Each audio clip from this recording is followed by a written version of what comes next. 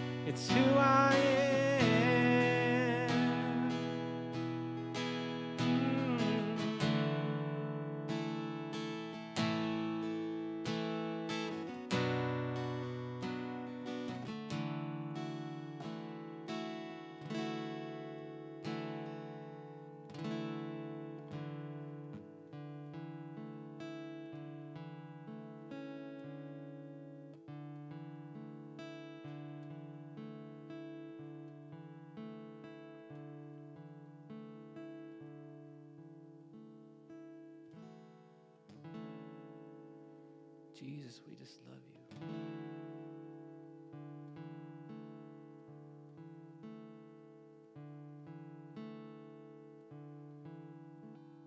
We adore you.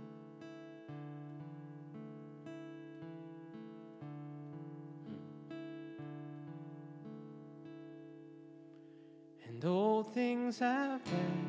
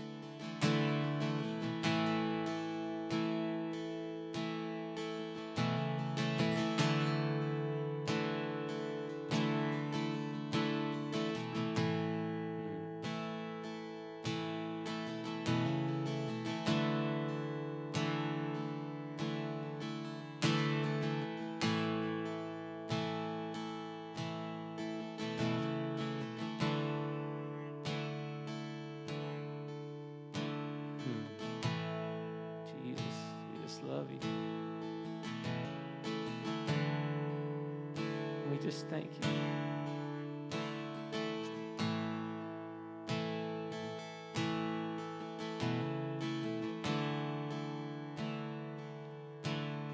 We love your presence. It's right here with us right now.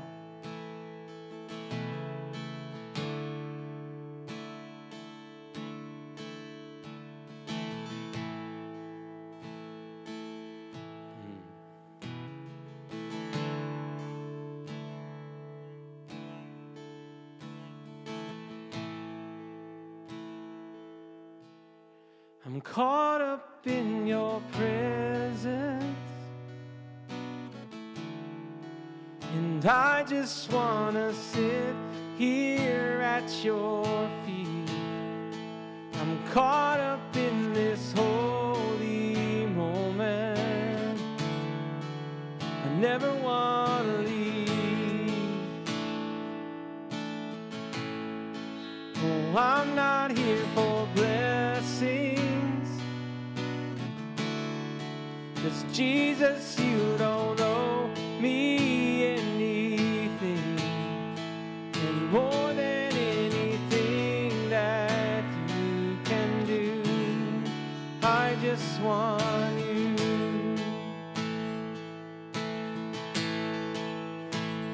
And I'm sorry when I've just gone through the motions. I'm sorry when I just sang another song. So take me back to where we started. I open up my heart to you.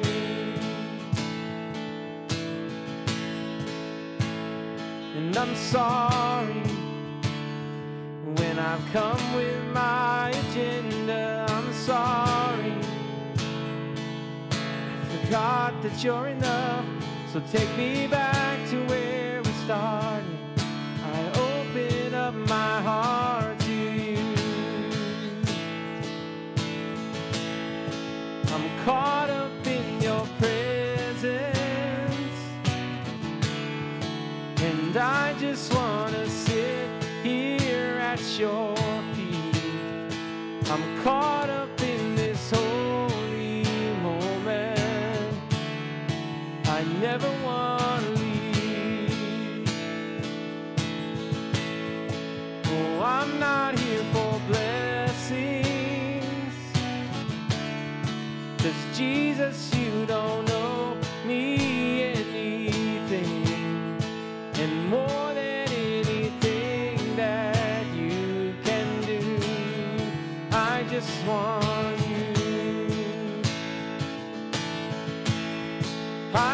Want you and nothing else.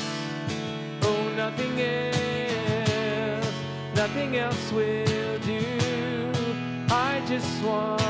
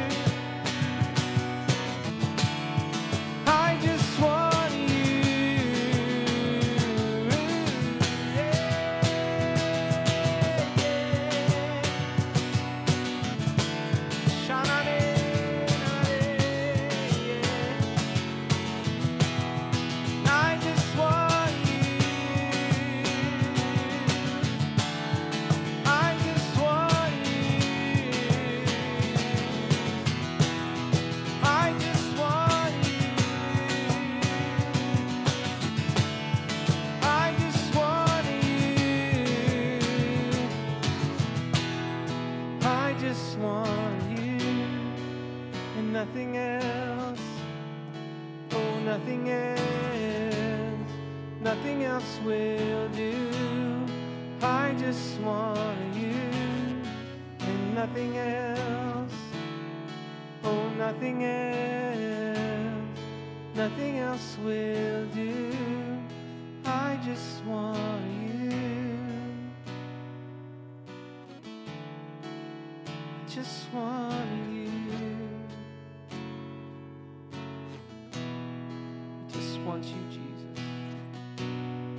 Nothing else. Nothing else matters. Just you. I just want you, Jesus.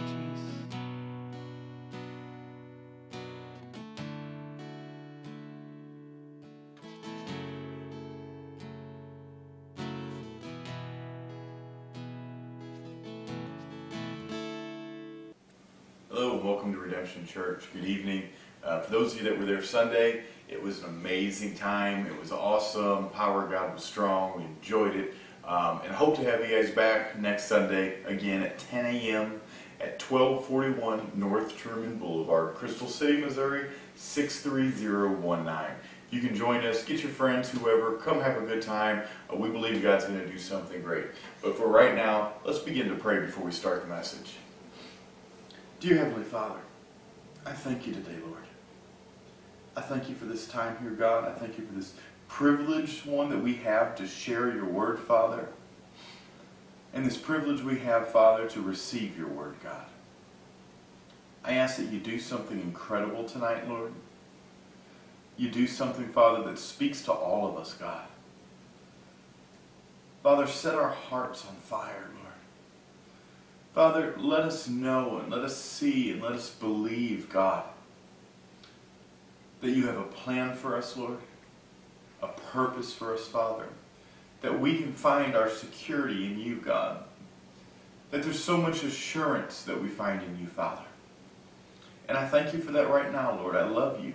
In Jesus Christ's name, be with us, Father. Speak through me, God. Anoint my tongue, Lord, that your words are spoken. And let each and every individual, Father, let them tonight receive this word, Father, that it goes into their heart and it takes root, God. In Jesus Christ's name. Everyone said, Amen. Amen. Praise the Lord. I want to talk to you tonight about a few things. Just something that, you know, God's laid on my heart. Um, even in we're in this this journey that we're still in with this uh, COVID 19, that we still wonder what tomorrow holds. We still wonder what will happen in the near future. We still wonder what the rest of our lives will look like. How many of those thoughts have ever come to your head? How many of those those thoughts have you ever wondered? Uh, when will I get back to work? When will things open back up? When this? And we, we're starting to see light at the end of the tunnel. We're starting to see things begin to open up. We're starting to see um, people get healed and so forth. But but we continue to to look and we continue to see the, the people try to, to bring fear back up in the lives of Americans, the lives of the world. Uh, continue to tell us, well, it's not over yet. This is the new norm. Look what tomorrow might hold. It might get worse. There's, there's more coming. It's bad, this and that. But I can tell you today that, that God knew this was coming. I can tell you tonight that, that God had, had a plan for you, had a plan for me. This did not stop or interrupt his plan that he has for us. I'm telling you right now that God's plan for you is still the same as it was yesterday. That this didn't interrupt it, this didn't stop it, this didn't make it go back, this didn't pause it. I'm telling you what, God didn't go, oh no, I'm going to have to change plans. Oh no, I'm going to have to reroute them. Oh no, something else. I'm telling you right now that God has a perfect plan that continues to exist right now. But as we go down this road in the world today, there's, there's no security in anything. There's no assurance of anything. The stock market drops day by day. We can't predict what it'll do. Used to, you could think I can invest in this, I can invest in that, and and maybe it'll it'll pay off in the long run. I'm telling you what, today there's there's no assurance of knowing it'll pay off. There's no security in anything except for Jesus Christ. That all of a sudden we begin to, to know that if we invest our lives into the kingdom, God begins to do a great work. If we begin to invest into Jesus Christ, things begin to happen. There is an assurance of knowing that He is with us, He is for us. He'll never leave us, He'll never forsake us. Day by day, we can't predict what things will have to do. They're considering closing schools again. Some have said that uh, that in the, the next school year that comes, we may not open back up. I've heard different individuals saying that uh, no school will be the new norm, that buildings are of the past for schools, that why do we even have buildings anymore? And we begin to look all this and we begin to wonder what our future looks like. We begin to wonder what's in store for us. We begin to wonder how we'll be able to, to cope with tomorrow, how our children will be able to learn, how things will happen. They say, well, it's okay, we'll do internet. But then different things begin to take place. We wonder, well, if they're at home and I have young children and I have to work, what happens then? How will I take care of them? How can I teach them? How, I can't afford daycare and so forth. And all these be things begin to, to pop in our head, and the enemy begins to use it as a tactic called fear. Fear that can destroy your life, fear that can take away your peace, fear that will destroy your marriage, fear that will destroy relationships. But I'm telling you what, it's a tactic of the devil that he's used since the beginning. Since he first came around doing this, he's been using the same thing. There's no new tricks. It's all been the same over and over and over again. You know, if we go back to school, they said there's there's a chance they won't allow kids to gather in cafeterias. They won't allow them to gather in the gyms or assemblies. And if we don't, how parents may not go back to work because of their kids. People's dreams of having kids may stop. I mean, you begin to look at all the fear they begin to put in individuals' lives to what they, they like to call population control. Try to get us to, to have fear to not do anything anymore, to not have children anymore. You know, we, we, we don't know if we'll have a job tomorrow. We don't know if there'll be food on the table. If we can even buy food at the stores, if there'll be meat to eat. But God forewarns us. God gives us direction. He gives us clarity. A lot of us begin to stress wondering what's next, wondering if God will provide. I'm telling you what, you get in that secret place. You say, God, I know you're my provider. Father, I know that you'll, you'll take care of me. And you say, God, I need direction. Father, I'm here to follow you. Lead me, and I follow. Guide me, Lord. Speak to my very heart, Father. Father, I want to know your will for my life. Father, I want to know that, that, that you're here with me. I want to hear you speak. I'm telling you what, and he'll begin to speak to you. He'll begin to, to tell you what to do. He'll begin to tell you what to pay off. He'll begin to tell you what not to purchase. You know, a lot of times we, we just think about God's here for our spiritual lives, but I'm telling you what, He's here for everything for us. He's here. I mean, he'll, he'll direct your path. He'll say, do this, don't do that. Well, well, why not? And sometimes you don't know. Sometimes you'll never know. Other times you'll find out years down the road and you go, wow. Wow, God. I thank you for that, Lord. I thank you that this didn't come to pass. I thank you that my prayer for this wasn't answered in the way that I thought it should be answered. But following God truly with your life is not only the, the greatest decision you'll ever make, not only the most important, but I'm telling you it's the decision that'll change your life not only for eternity, but even while you're here on this earth. It gives you great hope. I'm telling you what, following Jesus brings satisfaction, it brings fulfillment, but it brings peace. Because when you know that a father loves you, he's not going to take you down the road that'll kill you. He's not going to take you down the road that's bad for you. He's not going to take you down this or that or, or whatever else it is. What he does is he takes you down the road that he has planned for you the road to prosper you, the road to give you peace. And that's who my God is. Be ye not worried, because we have a God that has already told us He has a plan for us. Like I said, a plan to prosper you, a plan of life. Jeremiah 29, 11 through 14, it says, For I know the thoughts that you think toward, that I think towards you, says the Lord. Thoughts of peace and not of evil. He's saying, These are the thoughts that I have for you. I think these towards you. Thoughts of peace and not of fear.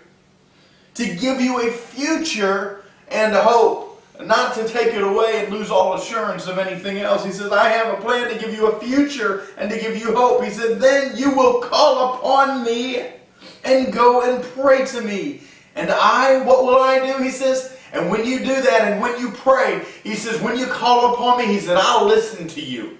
I'll listen to those very words that's coming out of your heart and bubbling up out of you and crying out of your mouth. He said, I'll listen to you and you will seek me, and when you seek me, you'll find no one else except for me. He says, when you seek me, you won't be disappointed. He says, when you seek me, you will find me. He says, but when you search for me with all of your heart, with all of your heart, he goes on to say, I will be found by you, says the Lord, and I will bring you back from your captivity. He said, I'll set you free. I will gather you from all the nations and from all places where I have driven you, says the Lord. And I will bring you to a place from which I caused you to be carried away captive. Listen, a lot of times our road and our path that we're on doesn't seem like it's the plan of God, but many times God has put us on a path to save us. He's put us on a path that looks a little rocky, that looks a little messed up, that looks a little hard, and He's put us on this path to get us to where He wants us to be. A path path that even when it looks rough, there's still peace. A path that even when it looks hard, that He gives you hope. He gives you assurance. And then even when you're on that path, He says, when you call on me, I'm on that path too. I'm there too. I'm right there listening. You'll find me when you seek me with all of your heart. I'm telling you today, church, my heart goes out for the lost and my heart goes out for the church. And I, I just wish that, that individuals would understand the concept of when you seek me with all your heart, when you seek me with everything in you, when you give me all of your life, when you seek me with all your heart, how much of your heart are you seeking God with? Ephesians 1 13 through 14, it says, In me you also trusted after you heard the word of truth. I'm telling you, I'm preaching you the word of truth today. Why? Because when you begin to hear the word of truth, you begin to trust Him. You begin to trust Him. You begin to believe in Him. The gospel of your salvation, it says, in whom also having believed, you were sealed with the Holy Spirit of promise, who in the guarantee of our inheritance until the redemption of the purchased possession to the praise of his glory, who is guaranteed of our inheritance. You have an inheritance. Let me tell you again, you have an inheritance of eternal life. You have a guarantee, a seal, that when you accept Jesus Christ and you give your life to Him, listen, that you will see Him again one day. You trust Him. You believe in Him. The gospel of your salvation. God is good. He's telling us, do not fear, do not fret, do not worry. He said, it's all been sealed. It's all there for you. Don't worry what man can do to you. Worry what I've, remember what I've done for you. What I'm doing for you. What I've already given you. What I've promised you. What I've guaranteed you. And what I've sealed. Let's go on in 1 Peter 1 3 through 5. In the Amplified Bible, it says, Blessed, gratefully praised, and adored be the Father, be the God and Father, our Lord Jesus Christ, who according to his abundant and boundless mercy has caused us to be born again. That is, to be reborn from above, spiritually transformed, renewed, and set apart for his purpose. Oh, wait, you have been set apart for his purpose to an ever living hope and confident assurance. Though the resurrection of Jesus Christ from the dead, it says, born anew into the inheritance, which is imperishable. Your inheritance is imperishable. Listen to that. Beyond the reach of change. It cannot change. And undefiled and unfading, reserved in heaven for You. For who? For you. Who are being protected and shielded by the power of God through what? Through your faith for salvation that is ready to be revealed for you in the last time. Listen. It's reserved for you in heaven. You are being protected and shielded by the power of God. Now listen, how does it happen? Through your faith. Through your faith for salvation. You're being protected by His power. Hebrews 13, 6 in the Amplified Bible, it says, So we take comfort, oh church. Many of us need to take comfort. So we take comfort. How many of you have gone in today and you said, you know what? I take comfort today. I take comfort.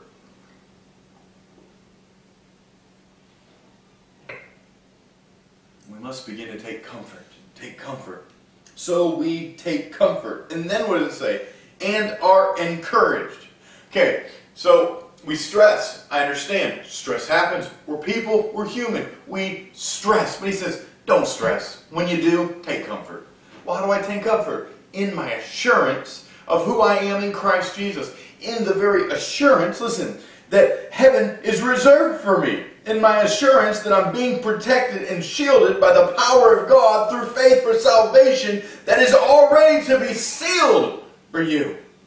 It says, we take comfort and are encouraged. I'm encouraged in the Lord. I'm encouraged that my God is for me and He's not against me. So take comfort, relax, be encouraged in Him. And then He goes on to say, and confidently say this. He says, so you're encouraged, you're comforted, and now when you do that, you begin need to put some words into action. You need to not only just, just sit there and receive this, but begin to speak this. He said, and confidently say, the Lord is my helper in time of need. And this is Hebrews 13, 6 in the Amplified. The Lord is my helper in time of need. I will not be afraid. What will man do to me? I'm telling you today, he says, sit back, get comfortable, get encouraged, and begin to rise up against the enemy and say, The Lord is my helper in the time of need. I will not be afraid. What will man do to me? And I'm telling you tonight that my God is telling you that don't worry about what's happening before you. Don't worry if 10,000 are falling at one side and a thousand at the other. Don't worry because you just need to take comfort. You need to be encouraged that I'm with you and you need to begin to rise up and let individuals around you see your faith and say, Here I am, the Lord is my helper. I shall not be afraid. What could man do to me? What could a virus do to me? What could an economy collapse do to me? What could a no job do to me? What could the stock market do to me?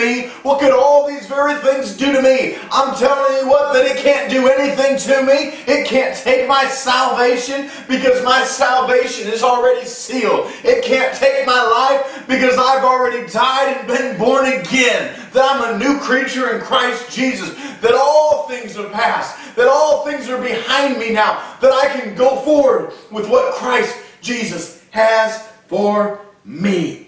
Amen. Amen. I'm telling you what, church. Here's what I want you to do right now.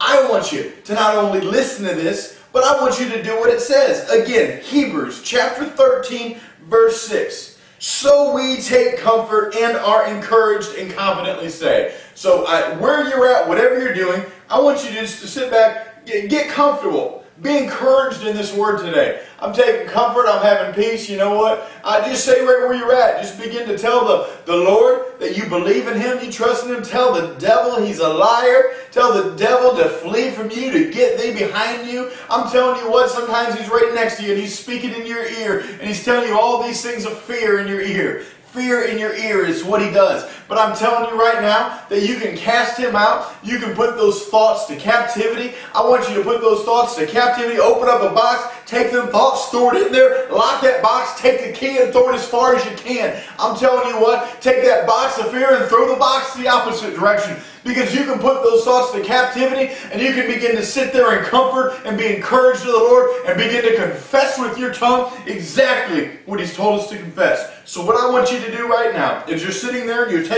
comfort as you're encouraged. Now I want you to repeat with me and confidently, listen, confidently say. He doesn't say fearfully say this. He doesn't say out of a scared tactic say this. He doesn't just say, say it repeating after your pastor. What he says is confidently say this. I'm telling you, the devil can hear it in your voice. He can hear it if you if you begin to, to shudder and you begin to get scared and say, The Lord is my helper in this horrible, horrible, horrible time of need that I have today. I'm not going to be afraid. What could man do to me? No, he says, confidently rise up. Know who I am. Know that I am God. Remember in Ephesians 1 13 to 14, it says, In him you also trusted after you heard the word of truth. When do you trust in him?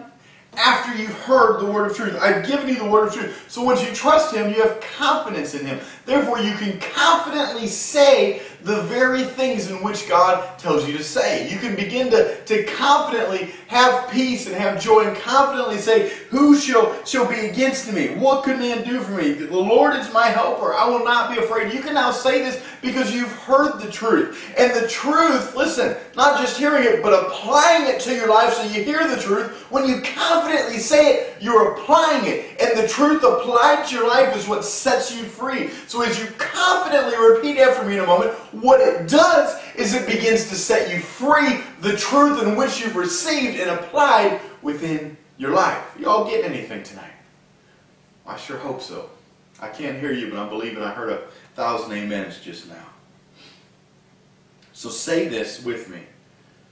But, but don't just say it, apply it to yourself. So what we're going to do is we're going to change the words to apply us instead of so we take comfort. I want you to say so I. So we're going to say this right now, and I want you to repeat this after me. Everybody who's watching or listening right now, don't be afraid, don't be ashamed. Just, just do this right now. It says, so I take comfort, and I am encouraged, and I confidently say, the Lord is my helper. I will not be afraid. What shall man do to me? Now listen, you've confidently said that. You've applied the truth to your life. You've heard the truth. You've taken the truth. You've now been able to trust in Him. And I leave you with this church. In Isaiah 14 24, it says, The Lord of hosts has sworn, as I have planned, so shall it be. Listen, the Lord of hosts has sworn this. He begins to say this. He goes, As I have planned, what I have planned, what I already planned in the very beginning, before time, before you were ever created, before anything around you that has taken place. What I have planned, he says, so it shall be. And as I have purposed, so it shall stand. And he has purposed salvation for your life. He has purposed the, the very things you life. So it shall stand. So it shall be. What I have purposed, what I have planned, it will not die. It will not go to the wayside. He says it's still there. I'm telling you, the dreams that are in your heart, the dreams that God has given you, so it shall stand and so it shall be. Because that's what the Word of God has spoken. What the devil wants to do to you, what he wants to do the world, and what he wants to do the church, is he wants you to lay down the dreams that God has given you, the plans that he's put in your life, the plans that he's spoken to you. He wants you to lay them down and say, well, I guess it's not going to happen anymore. But I'm telling you, that's exactly what the devil wants you to do. But God comes back with his Word, and he said, I knew that this would happen. I knew that this day would come, and I already proclaimed against against it. I already confessed against what would come to your life. I already began to say I had plans and it shall stand. He already said that I have purpose and it shall stand. My plan, so it shall be. The plan that God has for you shall stand, and I'm telling you today to stand on it. Believe it. Take it with you. Keep it at heart. Don't let it go. Run with it and apply it to your life. Tony Church, God is doing something great. God is moving right now. I know and I believe. I'm telling you what, because before I got up here, God gave me this entire uh, message within just a few minutes before I got up here. Change my plans. Why? Because I know that there's many of you out there right now that this was for you, that you've been discouraged.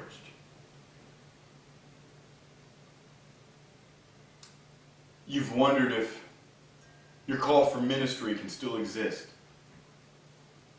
You've wondered if the plans of your marriage would continue to go. You've wondered if your, your dreams of, of seeing your children saved would still happen. You've wondered if your healing will take place. There's many different instances out there right now that God is speaking to you. You're saying, as I have planned, so it shall be. As I have planned, so it shall be. And as, I have purposed, so shall it stand.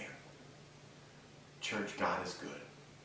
He's more than good. That's an understatement. God is great. He's the best there ever was and the best there ever will be. And tonight, what I want to do is I want to pray over you. I want to pray a prayer of blessing, prayer of what God has for you shall prosper, shall come to pass. If you will, bow your heads with me right now. Dear Heavenly Father, I thank you for your people.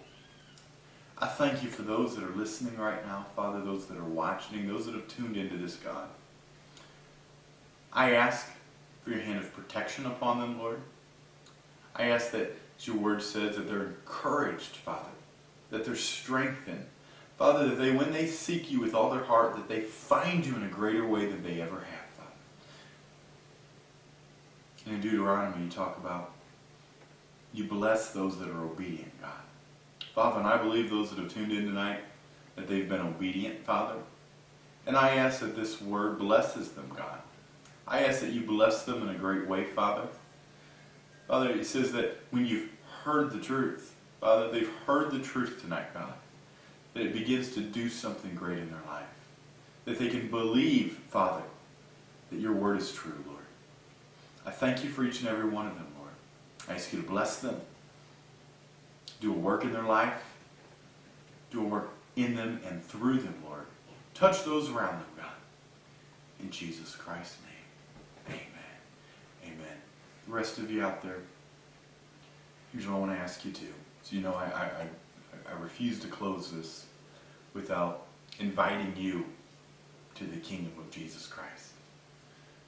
Talked about the assurance of knowing where you'll go when you die, of that my salvation has been sealed, that heaven is waiting for me.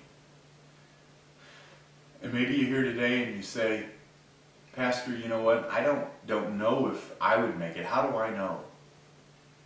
Well, Romans 10:9 it says that you'll confess with your tongue who Jesus Christ is, that he's the Son of God, that he died on the cross, that he rose again on that third day,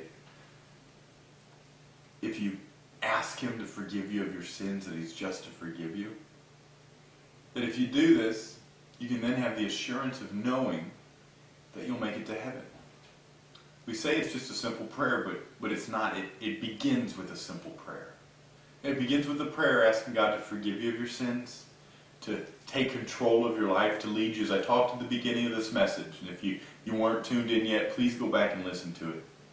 But I talked at the beginning of the message of just knowing where you are with Him, of taking your life and trusting Him, following Him with everything that you have. That He'll lead you into peace. He'll lead you into a life that's completely changed. He'll lead you out of where you're at. He'll, he'll, he'll turn it all around. You say, but Pastor, I've been trying to turn my, my life around for so many years. That, that's the problem. You have been trying to turn your life around. God never said that you could do it. He said that He could do it in you and through you.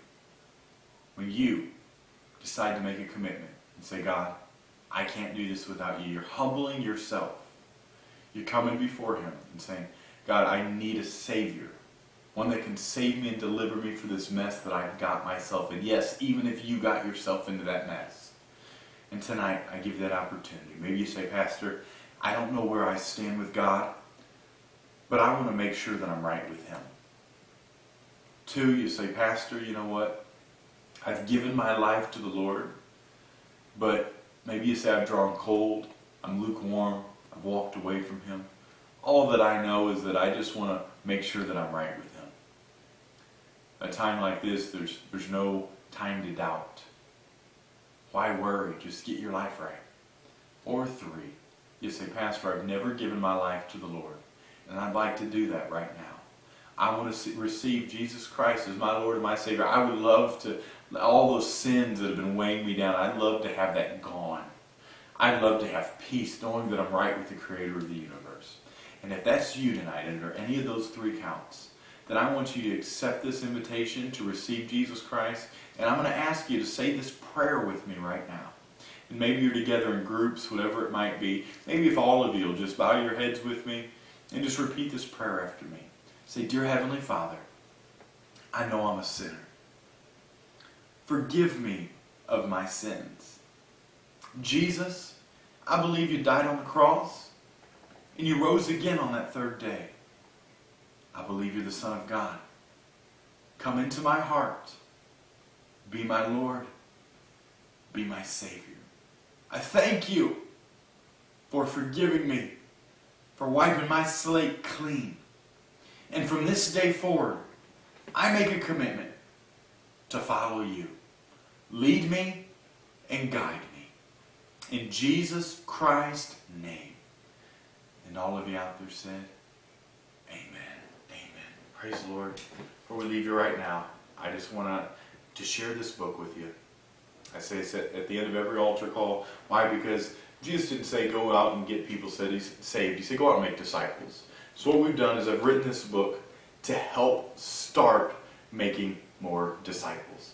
So what this book is about is I gave my life to Lord, now what? A guide to taking the next steps after accepting Jesus Christ. You've just accepted Jesus Christ. There's more after that. This helps to lead you in that, guide you in that. Here, here's, here's what a huge thing that it does. Many of you will, will look at this book and get intimidated and go, where do I start? What do I do? You may open up to a spot that says, oh, so-and-so begot this, begot that, begot this, begot that, and you go, what does begot even mean?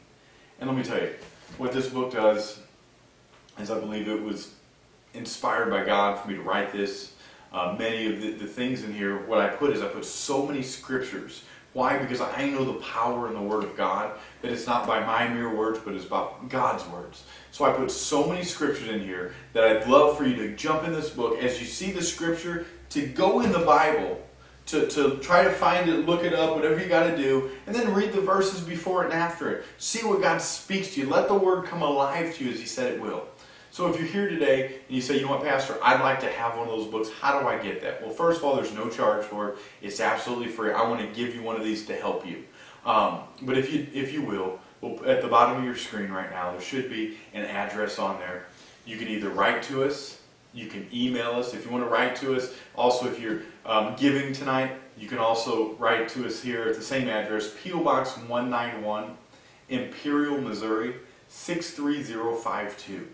Or you can email me at jgray at redemptionchurchstl.com. Email me there. I'll get you a copy of this. Um, however you want to do it, you get on our website, message us there. Um, if you're giving, you get on our website, also do that. Um, but please, don't be afraid to ask for one of these. Um, it's it, it, I just want to help whoever I can in any way that I can. Well, I love you guys tonight thank you for listening. I thank you for watching. Um, wherever you're at, praise the Lord that you're with us. I, I just pray and believe that this has blessed you tonight, that this has done something that you can take with you um, for the rest of your life. Well, God bless you. Have a great evening. We will see you Sunday at 10 a.m.